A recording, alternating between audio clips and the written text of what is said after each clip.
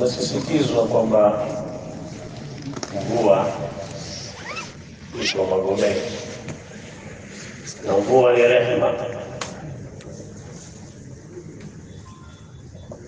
Mvua ni katika rehema, rehema ambayo hubadili ardhi iliyokuwa kavu kwa ardhi ya kijani yenye kupendeza. نعم عفوا اللهم صل وسلم na pia mvua hunufaisha kuondosha joto na kadhalika, kama anavyosema Mwenyezi Mungu katika Qur'an, watara al-ardha hamida faidha anzalna alaiha almaa ihtazat wa rabat wa ambatat من كل زوج بهيج. وتيولا أرض إقامة وحالنا تشوف إن شاء الله لكن فإذا أنزل عليها الماء غفلة يعني مارته فمتنمشى الأرضيون. هو اهتزت الأرض jambo kwanza inapata al-ihtizaaz kutikisika warabat, na inaumuka Jambo la kwanza ardhi, Qur'ani nasema anapata mtikisiko, ndio agitation. Jambo la pili inaumuka, wanaita swelling. Ardhi ikipata hali mbili hizi, matokeo yake wa ambatati min kulli zawjin bahij, inaotesha kila aina ya mmea uliokuwa mzuri. moja hapo kuna ijazu lquran, kuna kuna muujiza mkubwa wa kufahamu Qurani si kitabu cha mchezo, ni kitabu cha Mwenyezi Mungu subhanahu wa taala, kwa sababu mmoja katika watu aliyosema maneno haya kasema mwaka elfu moja mia nane na sabini Mwingereza mmoja hivi, na akapewa tuzo kwa kusema tu kwamba mvua inaponyesha taathira yake kwenye ardhi, ya kwanza ni kutikisika ile ardhi, na pili kuvimba ile ardhi. قرآنك سيما وترى الأرض هامدة لو أرضي يتولي كما بها ما تشوفه لكامل فإذا أنزلنا عليها الماء مارت ونبوترم شجير أرضه وفوا سيوماني فوا اهتزت وربت وأنبتت بكل زوج بعيد inatikisika, agitation and swelling, na inaotesha kila aina ya mmea mzuri.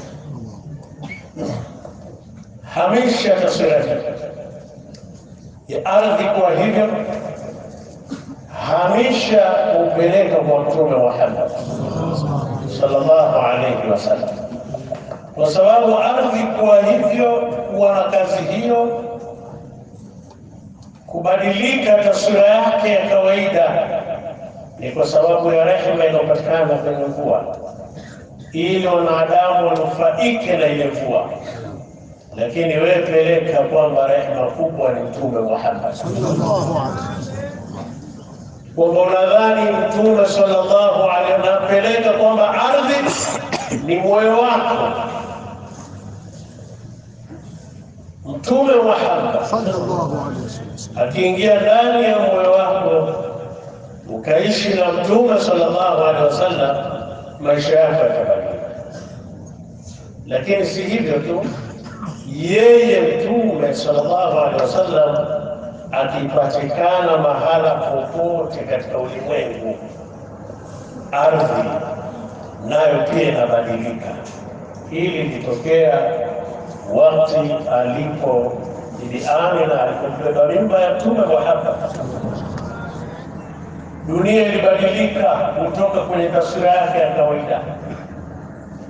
Ndio pale akatukumbusha Barzanji akasema, wakusiyatil lardu baada thuuri jambiha min annabati tusia, Lakini sio hivyo tu, ainaati thimar الله عليه adina shajar liljani janah الله عليه وفسيت الأرض بعد طول جنبها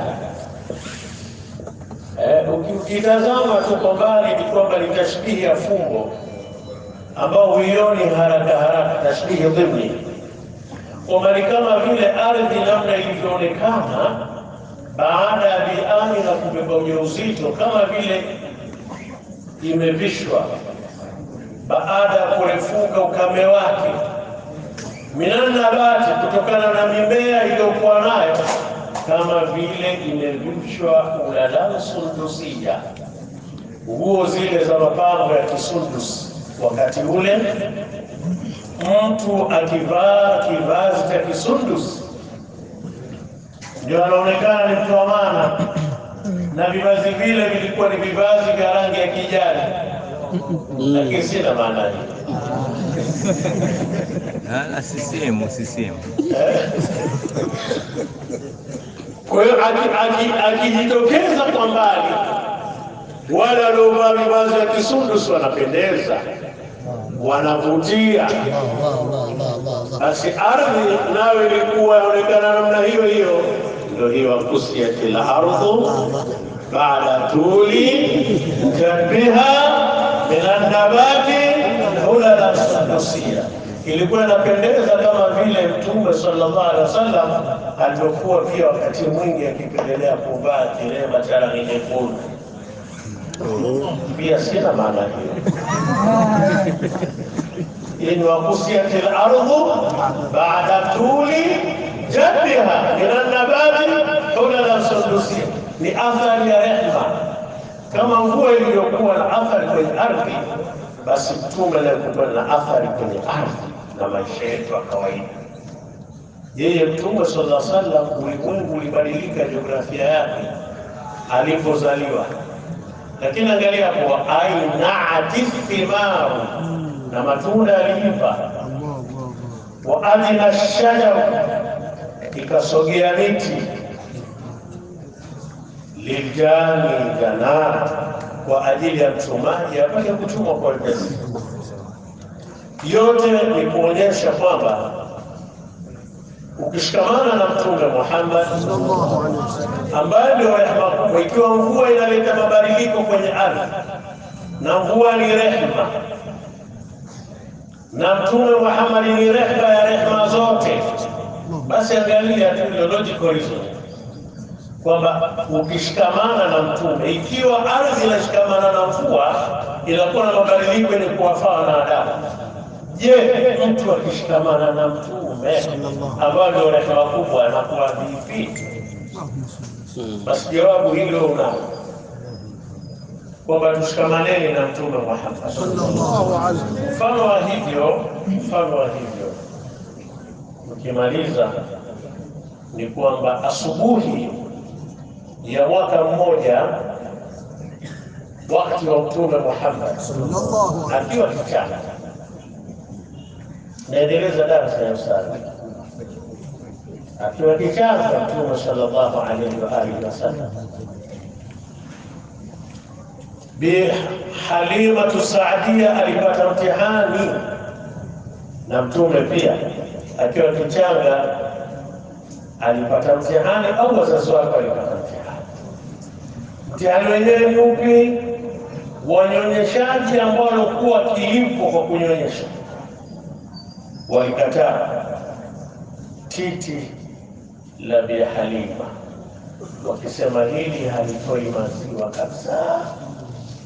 Kwa hiyo wakashawishiana kwamba msimpe huyu mama ana nuksi, msimpe mtoto wenu akamnyonyesha. Pia wakashawishiana kwamba kizazi hiki hawa bali bali Hashimu hawa ni mafukara, hawana chochote cha kulipa ikiwa utamnyonyesha mtoto yule anaitwa Muhammad. Kwa Halima katengwa na Mtume Muhammad akatengwa, ni kichana. Lakini tazama mipango ya Allah subhanahu wa ta'ala. Mwisho kilicho- kilichotokea ni kwamba Bi Halima akamnyonyesha. Ni asubuhi, akamnyonyesha akamnyonyesha Mtume Muhammad, lakini alipomweka kwenye paja lake alihisi mabadiliko ya mwili, titi zake zikajaa maziwa, na yule ngamia ambaye alikuwa amekondeana sana aliyekuja naye na alinenepa basi na kuzaa mtoto, akawa anatoa pia maziwa. wadara yuha biduri darin albanahu yaminu wa albanahu waalbana alakhar aqahu, ni kwamba maziwa yatatoka mengi sana, lakini yule ngamia naye kalelepa. Lakini si hivyo tu kule kwa Bani Saad, wanasomo mvua, si ndio? Kule kwa Bani Saad kukanyesha mvua na watu wakanufaika kwa huyu tu kushikamu kugusana mwili wake na mwili wa ambaye atakayekuja kuwa mtume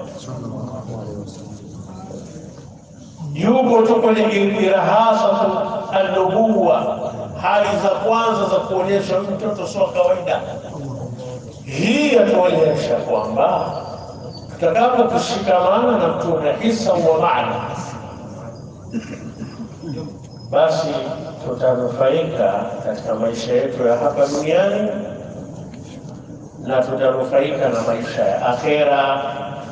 Ulimwengu hivi sasa unakwenda visivyo, kwa sababu tumemwacha Mtume Muhammad. Wazee wetu walinufaika sana na maisha yao, kwa sababu walishikamana na Mtume Muhammad. Watu wenye zamani, tena sio zamani nyingi, wanakumbuka kwamba mtu alikuwa akiwa na kidonda anaweza yeye mwenyewe akageuka daktari kwa mara ya kwanza, akachukua mchanga akapaka kile kidonda, kinapaka kidonda kile mpaka mtu anapona. Ndivyo sivyo? Ilikuwa ni zamani ambayo watu walishikamana na Mtume Muhammad, walikuwa na tabia za kutu, tabia za kimtume. Mtume baraka na rehma ikaenea katika ulimwengu, kila kitu kilikuwa ni dawa mm. lakini mmoja ananihadithia sema wao zama zao ilikuwa watu na kidonda, kila mmoja kama vile ana karama, anachukua mate tu hapo ile kidonda tu. Siku ile yale majengo yale pale pale Stonini pale pale Zanzibar Stone yani ya zamani sana, lakini umekuwa kuona ufa pale hakuna lakini majengo yanayojengwa kwa nondo siku hizi na kwa engineering ya hali ya juu sana, utaona amepasuka kila kijana bila akachunguzia eh? Kwa sababu tunaishi kwenye ulimwengu ambao rehema na baraka ni chache. Sababu ni nini? Watu wamemuacha Mtume Muhammad sallallahu alaihi wa alihi wasallam. Tushikamane na Mtume maisha yetu yabadilike, ili zile kunuti zinazofanyika katika swala ya subha zisiwe dhidi yetu, ziwe ni kwa ajili yetu. Tusiposhikamana na Mtume Muhammad, zile kunuti ndizo zinazoharibu maisha yetu, lakini tushikamana, tukishikamana naye Mtume, zile kunuti ndio zitatengeneza maisha yetu. Vipi sasa, mwisho solution, tuwashikamana vipi na Mtume Muhammad? Conclusion, Mtume tushikamane naye vipi? Njia ya kwanza, hizi madrasa zitiwe nguvu, zitiwe nguvu, kwa sababu ndio kituo anachosoma Mtume, akhlaqi za Mtume mwenendo wa Mtume ili mtu auige, hausomeshwi popote isipokuwa sehemu zinazoitwa madrasa. Kwa hivyo vituo tuvipe nguvu. Moja ya balaa iliyopatikana kubwa, huwa tulizungumza sana, kwa sababu kuachana na Mtume Muhammad ni hili balaa la ushoga liko wazi, japo mtu anaona haya kusema, lakini liko wazi mno, hasa siku hizi. Mwaka elfu mbili na kumi na nne yule David Cameron, waziri mkuu wa Uingereza, akitangaza hali hii kwamba nchi zote ulimwenguni zishikamane na sera hii ya wanaume kwa wanaume kuoana. Eh alitangaza. David Cameron. elfu mbili na kumi na nne ilikuwa haieleweki, lakini alisisitiza akasema, najua kwamba hili litapingwa sana katika dunia, lakini kwa kiasi mataifa mbalimbali na watu watakapoendelea kustaarabika watalikubali jambo hili. Na kweli watu wasema wamestaarabika, wamelikubali eh? lakini kulikubali jambo hili ni matokeo ya kuachana na Mtume Muhammad. Na njia nyepesi ya kuachana na Mtume, unajuaje kama unaachana na Mtume? Jiangalie wewe waithamini vipi Qurani, na ukiona hilo ugumu huwezi kulielewa, angalia wewe mtazama vipi mwalimu anayesomesha Qur'an Kwako mbele yako ni mtu wa maana Je, mtu aliyehifadhi Qur'an kichwani kwako ni mtu wa maana? Je, hivi vituo vinavyofundisha Qur'an ni vitu vya maana kwako? Na kila mmoja ana hisia yake. Tazama kati ya hisia ya Mtume Muhammad na hisia isiyokuwa ya Mtume, ipi hisia ambayo kwako inakuvutia zaidi? Kila mmoja ana jawabu lake, ama sio jawabu? Allabibu takfihi lishara. Wassalamu alaikum warahmatullahi wabarakatuh. kumswalie Mtume